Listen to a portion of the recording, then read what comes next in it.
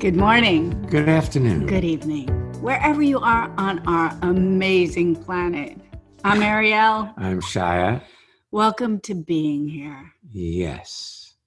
I think with all of the wildfires out west, the subject of just breathe is, Is pertinent yeah, it's timely. timely. Yeah. Uh, if you can find some good clean air. That's true. If not, breathe through a mask. Yeah, my sisters are both in the uh, worst pollution on the planet right now. One's in outside of Portland, one's outside of Seattle, and uh, they're staying inside. So shout That's out a- to them That's a smart everybody there. idea, actually. If you can. And I hope my friend Tom Darry is okay. Yeah, we've reached out to them and we haven't heard back. Yeah, so he's somewhere near Estacada in Oregon, and that place is burning up or burned up. And I just don't know about them, and I'm concerned. And uh, Tom, I'm wishing you and Connie the best. now wherever you are on our planet, We're wishing you the best. it is time simply to take a breath. There's so much happening in our world, none of which we have control over. And you can get tense, you can forget to breathe, you can try and get somewhere, you can wish it were different, or you, You, can could be, here. where you are in this moment. Now, uh, our technology of instantaneous transformation is based in three principles and one major principle. The major principle is listening, to allow what's being said to come in and hear it, not filter it through what you already know or compare it to what you already know, but hear what somebody has to say. The benefit of this, there's a couple. Uh, one is your communications will be far better with whoever you're listening to or speaking to. Secondly, it'll pull you into the current moment of your life. And that's where transformation takes place when you get synced up with the current moment, because no two things can occupy you at the same time, which is the second of the three principles. And if you are listening, you're not listening to your internal dialogue, which constantly complains to you about you're not doing it well enough. And that may be what our guest or guests are going to talk with us about their complaints about themselves and their thoughts. We'll find out. I don't know. Haven't spoken to them about it yet. So, uh, this past weekend, Shya and I uh, facilitated a seminar weekend uh, or weekend seminar uh, with a master acting teacher and talented actor, Andy Schneeflock. And we were facilitating improv your way to the moment. And most improv techniques start with yes and. So if I say, hey, what are you doing with a chicken on your head? Um, just thinking that I need to lay some eggs. So rather than go, what are you talking about? I don't have a chicken on my eh, head. It's about going with whatever is tossed to you. And life tosses the moment to you. One of the things that makes Andy so talented uh, in teaching improv is that he does not start with yes and. That's secondary. He starts with listening. If you are listening, then you're receiving whatever it is that you are stepping into. First principle of instantaneous transformation anything you resist, Persists. if you don't like it, don't want it, or don't hear it It keeps coming back. over and over. Yes. Second principle, you can only be exactly as you are in any given moment. So as Shya was starting this show, uh, of course we both were this this podcast. Uh, as he was discussing listening, I found my mind flitted off a couple of times, and it was really about bringing myself back here. If I resisted that, my mind was you- flitty. You, you thought thoughts rather than listening to me. I'm insulted. From time to time, I did. because that's where I was starting from. You can only be exactly as you are in any given moment. Really? And he's only kidding when he says he's insulted. yes. Third principle anything you see without judging completes itself in an instant. In an instant. Now, that's hard to get because you see, we've been raised in a culture called change, where everything happens incrementally eh, over time rather than outside of time in a moment of illumination where you see something. And if you don't judge yourself for what you how you've been but just see it as it is it completes itself in an instant. The seeing is enough. You don't have to talk to yourself about it. And i know we've been trained to talk to ourselves about everything but just seeing is enough to complete things. When you just see something, you're more likely to, with freedom, to breathe simply take a breath. When you're judging something, chances are you're getting tighter and tighter rather Mhm. than breathing freely. Hey, shall we take our first uh, guest? let's We have Micah today. She's calling in from Dusseldorf. in germany yes, welcome to the show. Hi, Ariel. Hi, Shya. Nice being with you.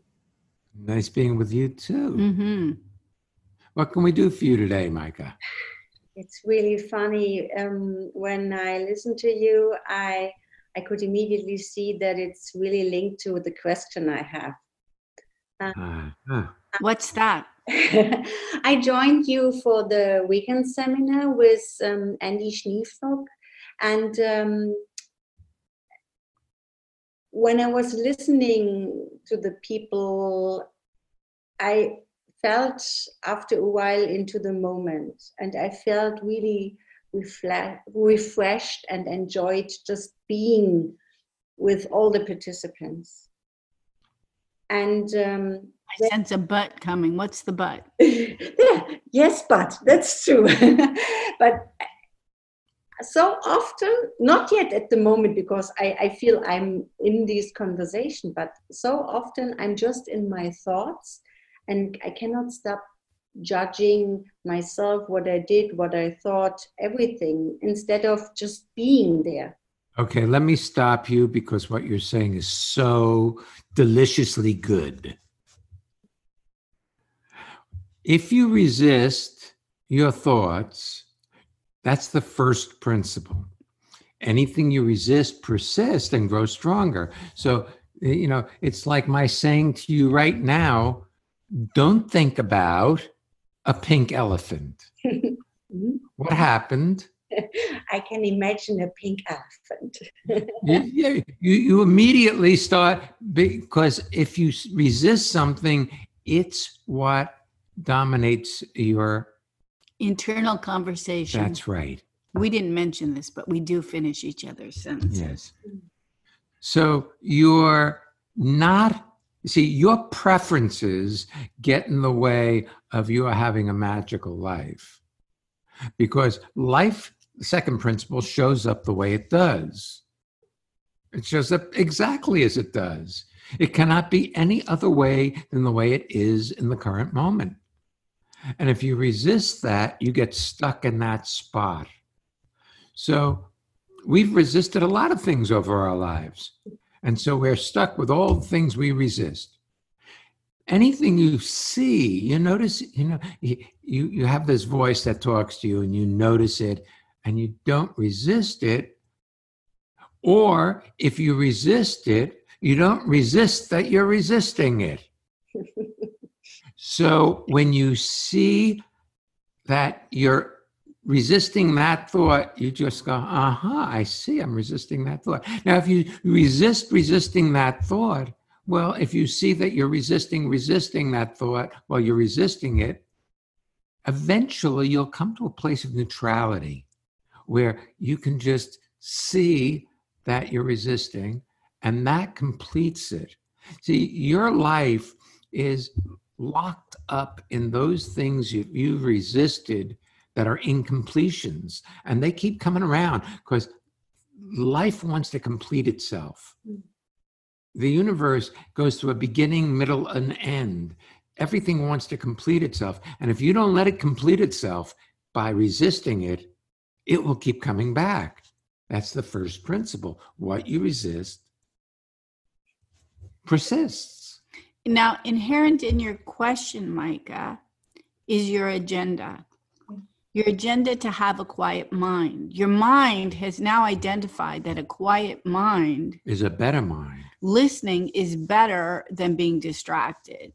So it's trying to actuate uh, being non distracted when it's the thing that's distracting you in the first place.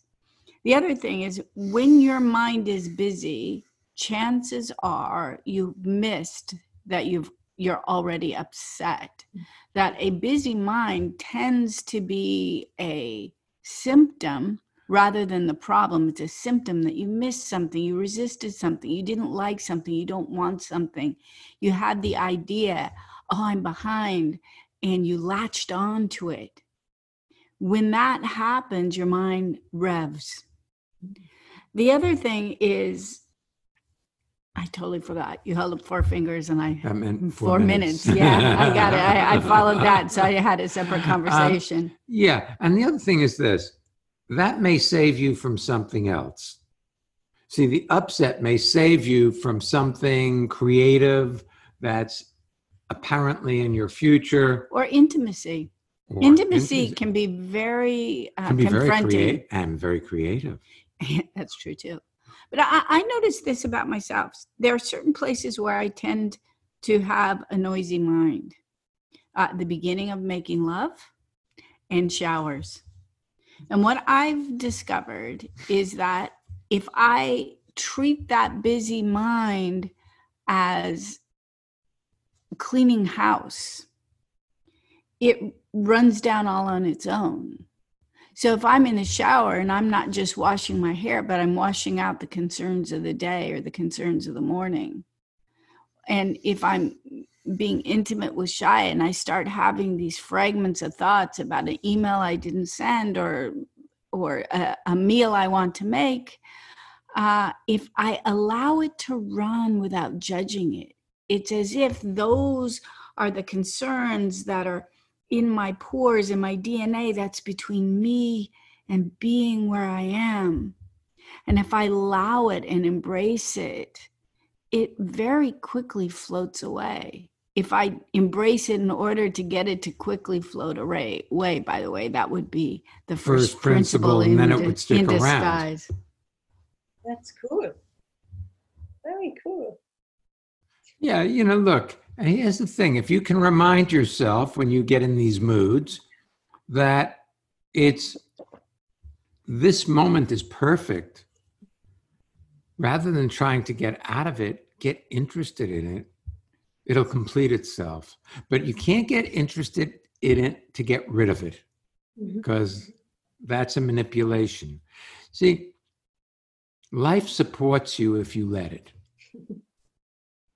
But if you have a preference that it be different, then you resist what you have and you keep it in place. One other thing, Mike. These are those non never ending arguments with Stefan. Yeah. I know what you mean. Mhm. You know, you also mentioned that uh, you did the weekend. It's now Wednesday, and and your concerns are not here, but you have the expectation of them coming back. What if it never comes back the same way? What if your expectations produces it rather than being here to see what happens, recognizing and looking at what skills you currently have that may not have occurred to you before? Of course, we have similar thought patterns, they repeat over and over. But when you're here, uh, there's whole new ways of relating to your life. And you discover them in the moment, not as an idea, but as an observation. You see it. You don't figure out, well, if I'm here, then I'll be okay. You're just okay. Guess what? This is what here looks like, That's right. feels like, sounds like. So Welcome to just, the moment. just breathe. Just breathe. Thank you. That's very cool. You're You're wel- very welcome. Thank you for being with us. Yeah, thanks for being our guest today. Thanks a lot. It was my pleasure.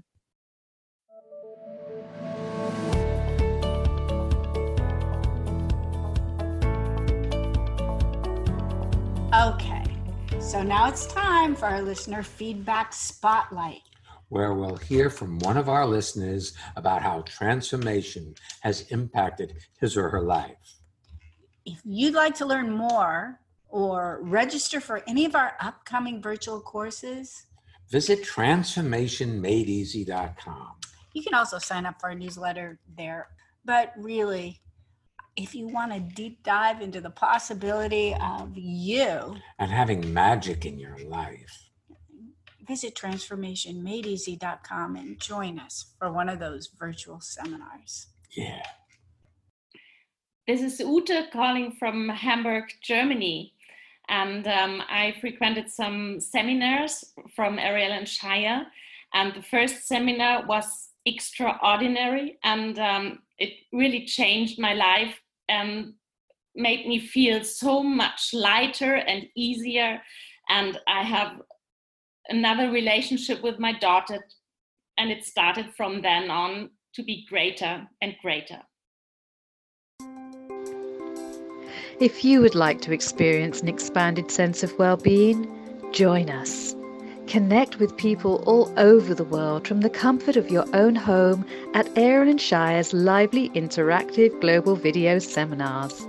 Participate in any of their two hour online events or take a deep dive into the magic of being you at a virtual weekend seminar.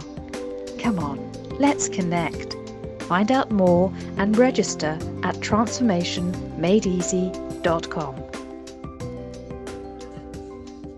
We have two upcoming seminars. One is on a Friday, October 16th. It's called The Freedom to Breathe. It's a day devoted to just allowing yourself the license to be you and the freedom to breathe. You know, you don't realize how much of the time you hold your breath as you go through your life. And, especially any situation that seems in any way threatening or upsetting or that might have some consequences instead of breathing we normally hold our breath and tough our way through it. I have a good example for that. Uh, but let me announce the weekend also, which is fun, is the Access Way to Enlightenment on the 17th and 18th. A lot of people are doing both both courses. There's a discount if you do both courses. You can find all the info for them at transformationmadeeasy.com. And the good example is uh, last week we were driving down the road and all of a sudden our car just stopped having a motor. And it actually turned out to be quite fun. Shya just gently brought the car over to the side of the road. Well, it, it's it's our our suburban. It's more of a uh, SUV than a car, and so it's quite large. And it had all our fishing equipment in it because we were on a fishing trip. It was our first time away since March, so it was really a, a fun adventure. We're going down the highway at 70 miles an hour, and then suddenly 55 and then and, 50 and, I, and giving it gas and nothing happens.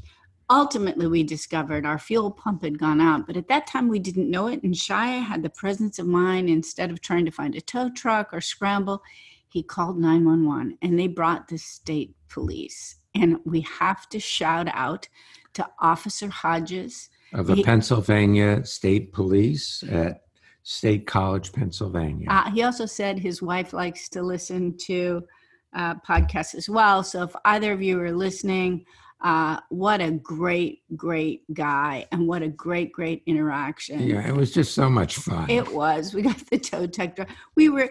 He walked up without a mask. I didn't have my mask on. Was like, oh, mask. I put on my mask. He was going to go get his, and we're like, we have a new one for you. It was just an incredible treat, and we got to ride in the back of his police car over to the um, car dealership, and that was fun too.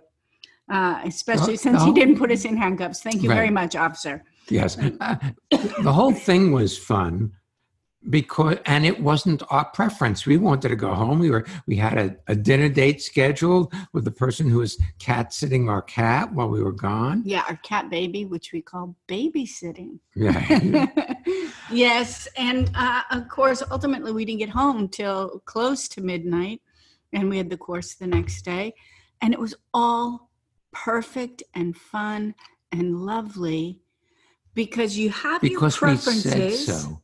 Yes, because we said so. Our preferences would have been that the fuel pump did not go out and we didn't have to spend four hours but in, in state college pennsylvania but we did find a great restaurant for ribs yeah, we did, we did. Now we're trying to, you know, we want to get back there. It's the closest one, you know. it's three and a half hours away it but you know make sense but it really was fun so uh when you step into what is happening it's fun when you resist what is happening it's not so fun just saying shall we take our next uh, guest yes let's all right our next guest is deirdre and i'm not sure where you are today where are you Hi, guys. Good to be with you. I am in Paris.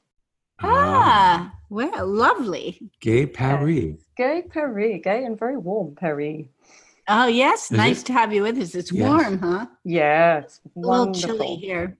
We're Yeah. in second We summer. lit our fire in the new wood stove last night. It Yeah. was very cozy. It was. oh, was. lovely. Open the windows to get it cool enough to have a fire, you know? But that's the thing, isn't it? There's beautiful things for every season. That's right. Beautiful things for every season. As long as you're not trying to have fall be summer or winter be spring, you're you're in good shape. What can we do for you?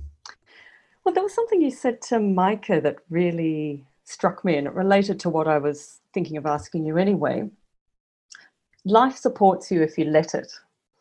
And I've been having a pretty interesting time the last couple of months. Uh, since the end of July, I'm a classical musician. I play violin and viola, and I haven't been able to play because I've had a, an injury to a finger. And it's been a bit of a mystery to specialists. I've seen a, a lot of doctors and had a lot of tests. And it looks like it's coming to some sort of resolution soon, but it's on top of COVID and having stopped work already back in March, like most people, or many people. Um, yeah, I had a month where I then went back to work for July, but after that, since the end of July, I haven't been able to work.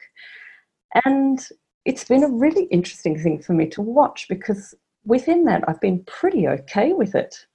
And I've I've been thinking for a little while anyway about doing some extra study and doing a course perhaps online. And I started to enroll in that. I've also been developing a podcast. I started to do more of that.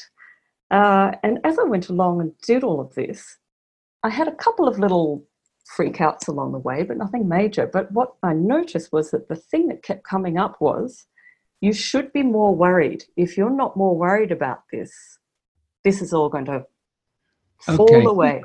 Okay, so let's talk. Your mind, the conversation you listen to, that voice in your head, is a survival machine. So its basis is worry. It's worry about possible disastrous futures rather than the moment. When you're here in real time, in the moment, the future exists, but it doesn't really exist because you see, it's it's not cast in stone.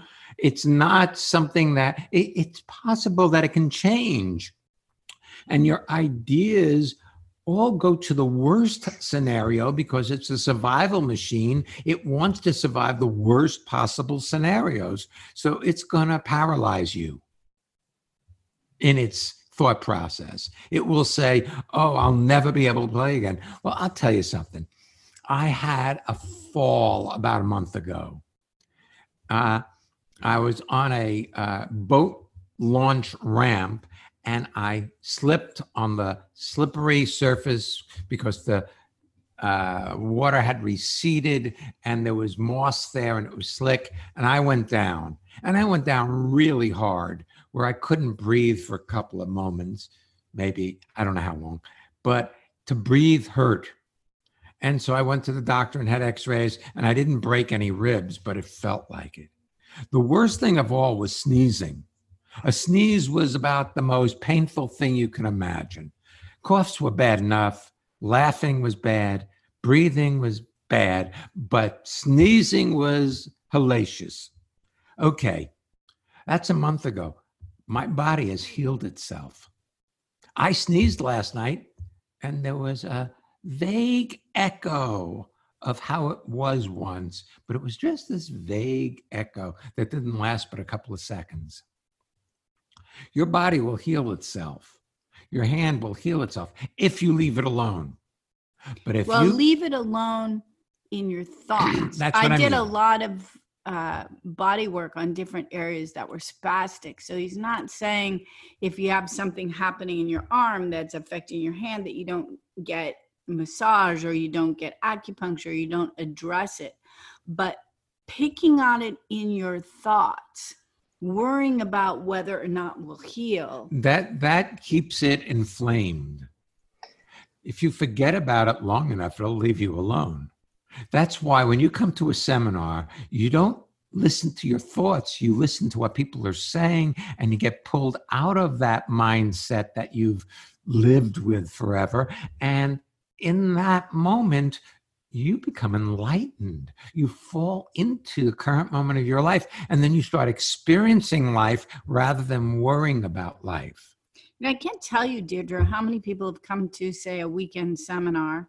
They've had an injury of some sort or a long existing back pain or, or migraines, and they get involved in what's actually happening. And by the end of the weekend, it's gone. Well, Now, I'm not saying that as a prescriptive for you. but didn't we just have somebody say something yes, like Andy had that as well. I No, can't remember uh, who else. Somebody Uh, else. uh, Corrine. Corrine. Oh, yes. That she was, she couldn't breathe. she couldn't sleep laying down because she had a sciatic pain and she Mm. did a weekend seminar which she thought might have been really tough because it was a zoom seminar and it, there were multiple hours a day but at the end of it uh, she could lay down and actually sleep in a bed for the first time in months when you no longer work on it in your thoughts there's whole other possibilities Did you ever go to a doctor's office where you had something wrong with you? And so you, before you met with the doctor, you thought about what it was and how, How it to felt describe it. and tried to describe it, and it disappeared? Absolutely, including with this finger many times. Yes, because if you al- allow yourself to be with the way it is, it completes itself. When you resist it, when you when your preference to be able to play your violin or ce- cello is it Viola. viola viola uh, when, when that preference is there, the pain is there. I have another thought for you, though. You've told yourself that you would like to do more studies. hmm So now, just as a possible, I'm not saying you're to blame, but you've created the opportunity to have space to do these studies. If you're not doing the studies, tell yourself the truth that you don't want to do them. Because otherwise, you may keep this around for a long time as an incentive to do what you don't intend to do in the first place. Oh, that's fantastic. Isn't that lovely? Yeah, It really is. yeah, it really is. And But the you know, inter- mind is tricky. Absolutely. And always likes to be doing something and having a, a goal and an aim as well. And I noticed Yeah. at the very beginning when this first happened, the thing I struggled the most with was what do I do with my days? Well, it's interesting. I, I know that we are doing this as an audio podcast, but we are recording it via Zoom and we have the video on so we get to see you. And we've known you for a number of years. We don't get to see you that often because clearly you usually are traveling with the orchestra and you are living in Paris. But your face is more relaxed than I've seen it in a long time That's right. You really look lovely. what if not doing anything when you're not doing anything has been really good for you. I think it really has. And knowing you guys and hearing how you've talked about this before um, really helped me at the beginning because I did just consciously give myself license to be with it, be in Paris. I've not actually had this amount of time in my own city, in my own apartment, ever before. And some days I've just been here and had a quiet time. Some days I've gone out and gone to museums which are empty because there are no tourists. So you can go to the Louvre and the Musée d'Orsay, there's almost nobody there. And to walk through there quietly just for a couple of hours, come back home, no problem. And I've actually thoroughly enjoyed it. And that's where the also the impetus to uh, do some extra studies and have a, a stronger skill base to perhaps not be a freelance traveling musician for the rest of my life to give myself other options uh, started to it had been sitting there for a while in the back of my head but it started to creep forward and not as a plan b but oh i actually want to do this. So i've actually i found myself starting to take steps to enroll and do different things but not by thinking about it just by watching myself see what i do That's great. So I have a question. yeah Are you willing to enroll even if your finger spontaneously gets better? Yes, and that's what's wonderful because it has start to spon- started to spontaneously get better, and I found the energy to keep going towards these new studies only increased with that. And instead of thinking, oh well, now I have to put that on the back burner and go back to my job, my first thoughts were, great, how can I take maybe a bit of a step back from all the work that I've been doing, really choose the stuff that I only really, really want to do, let the other stuff go, and make space to study. Sounds I'm great. excited. You should be. Yeah. Here's the thing your life is newly happening in each moment unless you bring your history into the moment. Can I make one suggestion for Yes. you? Yes. As you're talking and you're getting excited, I see you preparing to rev up to be equally as busy as you were before, but only in a different framework. Yeah, you're good. What if that being compressed is not a component to your success? What if it's an old way you related to things when you didn't know yourself so well, you felt you had to drive yourself? What if you can have all of these other interests and growth possibilities? And breathe at the same time. Yeah, fantastic. I hadn't seen that part of it, but absolutely. And that includes as things get busier, you can still go to museums if you want. You can still spend time in your home. You can still go out and just walk the streets of Paris because it gives you pleasure. Yeah, fantastic. You're Absolutely. not behind.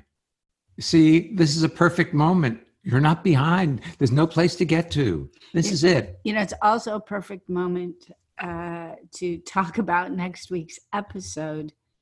And that's the, the theme of next week is complain brain. Because when in idle, that brain tends to complain. About everything, especially you.